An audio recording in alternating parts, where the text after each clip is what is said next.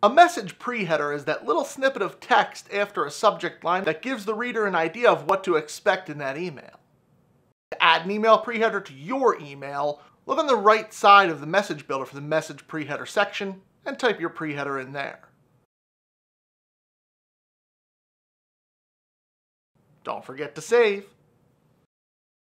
So go ahead, try this in your account today.